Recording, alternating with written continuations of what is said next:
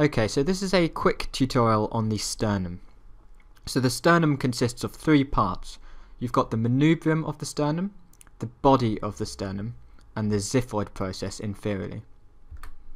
So we'll begin by taking a look at the manubrium of the sternum first.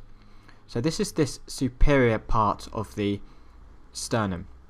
And you can see it has two articulations. You've got articulations with the clavicle and with the first costal cartilage here. So there's three features of the manubrium that you need to know about.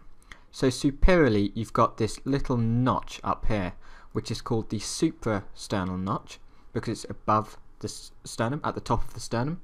And this is also sometimes called the jugular notch. And then you've got a facet here on the superior and lateral aspect of the manubrium, which is for articulation with the proximal end of the clavicle and for its articulation with the first costal cartilage you've got a facet for this attachment. And then right at the bottom of the manubrium you've got a little demi-facet. So this just demi just means half. So you've got half a facet here for articulation with half of the end of the second costal cartilage. So obviously this means that there must be another demi-facet. So the other demi-facet is just below on the top of the body of the sternum and this articulates with the bottom half of the second costal cartilage.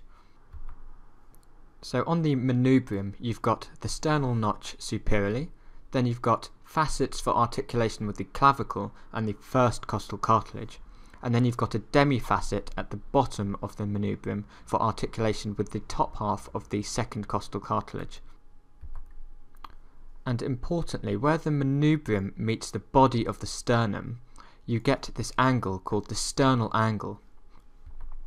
And this angle is often called the angle of Louis, and it's an important anatomical landmark. So I'll do another tutorial which talks about the important structures that can be found at this sternal angle. So the sternal angle lies at the level of the intervertebral disc between thoracic vertebra T4 and T5. So moving on to the body of the sternum, you've got this large flat bone and along its lateral edges it's got articulations for the costal cartilages. So remember the demi-facet at the top of the body of the sternum for articulating with the bottom half of the second costal cartilage. There's also a demi-facet at the bottom end of the body of the sternum and this articulates with the top half of the last true rib, so the seventh rib. So remember, you've got seven true ribs, so one, two, three, four, five, six, seven.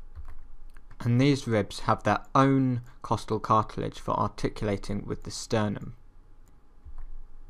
So at the top, you've got the demifacet articulating with the second costal cartilage, and then you've got facets for articulation with ribs 3, 4, 5 and 6.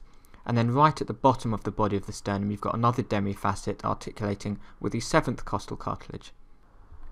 So the other demifacet lies on the xiphisternum. So the xiphisternum is this little process at the bottom of the sternum, inferiorly on the sternum.